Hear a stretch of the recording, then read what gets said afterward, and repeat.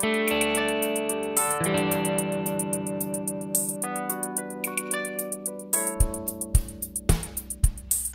all poets get a PhD in synesthesia by the University of Columbia in New York? Can't they harvest medallions under the moon? Can't they work as professors of Punic sciences? As kindergarten teachers? Can't they work? Can't they afford to pay for their third self-published volume? Can't all poets live on air? Can't they rummage, deconstruct, snoop, build for themselves a submerged house, inhabit a crystal palace? Can't they repeat over and over the unsaid, incite questions ethical and aesthetic weight, dismantle and fragment reality?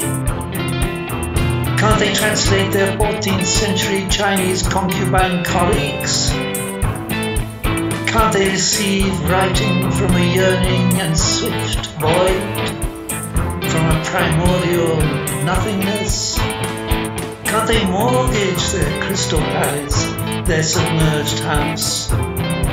Can't they rebelliously peddle little stars?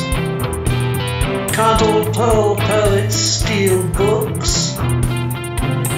Can't they read so the complete works by Samuel and Ezra and John, by Juana, Inez, Alejandra and Gabriela, by Anne and Margaret and Stevie, by Wallace and Edgar and Charles, by Arthur and Paul and Vladimir, by Dulce and Marina and Marusa, and etc., and etc., and etc., and etc.? Can't all poets add more beauty to beauty and more horror to horror? Can't they draw maps and routes of the invisible, futuristic city foretold by their dreams? Can't they pursue the intangible, move towards permanence, so that a poem becomes a closed and completed vehicle, a treasure to present without behind or beyond?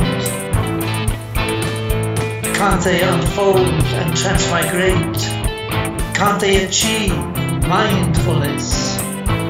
Can't they stammer forever into everlasting silence?